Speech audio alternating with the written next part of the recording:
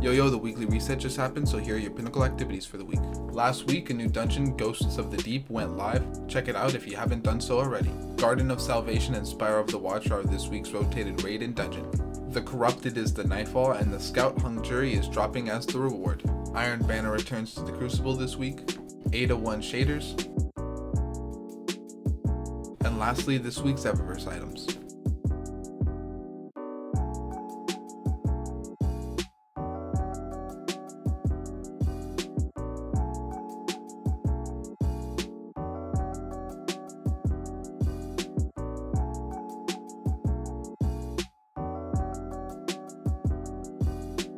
Thanks for watching. I'll see you guys next time.